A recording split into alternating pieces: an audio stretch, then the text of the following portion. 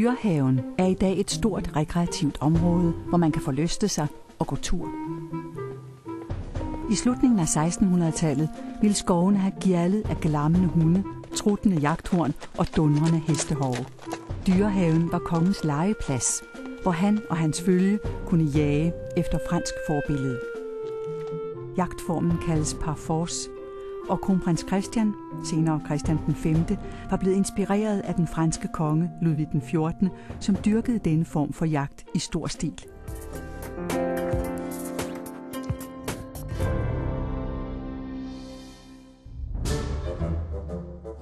Christian besøgte den franske konge i Paris og blev betaget af de store optrin.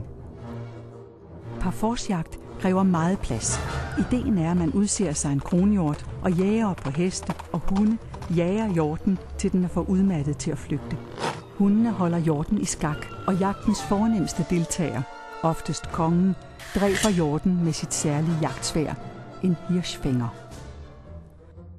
For at have et bedre udsyn og for at være mobil, anlagde man veje, som skar hinanden som en stjerne gennem landskabet.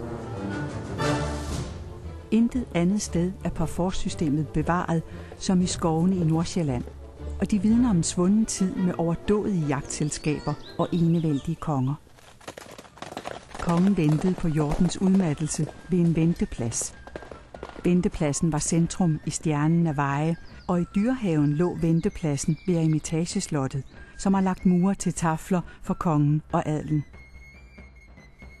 Desværre for Christian den 5., som indførte jagtformen, blev den også hans skæbne.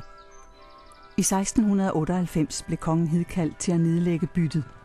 Kongen trak sin hirsfinger og støtte sværet i dyret. I Jordens dødskamp sparker den Christian den 5. og sårer ham. Et slag, kongen aldrig kommer sig over, og han dør et halvt år senere. På Rosenborg Slot eksisterer geviret fra kongens banemand. I dyrehaven er kampen mellem konge og hjort markeret ved et stort egetræ, som kaldes Christian den 5. e. Parforsjagten er utroligt ressourcekrævende og er et tegn på den enevældige konges øsselhed. Nye vinde blæser i slutningen af 1700-tallet, og parforsjagt bliver umoderne. Jagtens skytsengel, Hubertus, har lagt navn til en jagt i dyrehaven, den første søndag i november hvert år. Hjorten er skiftet ud med ryttere beklædt med rævehaler, som andre ryttere skal indhente. Jagten tiltrækker hvert år tusinder af tilskuere, så parforsjagtens udløber har stadig betydning. Publikum er blot skiftet ud fra en eksklusiv skare til helt almindelige borgere.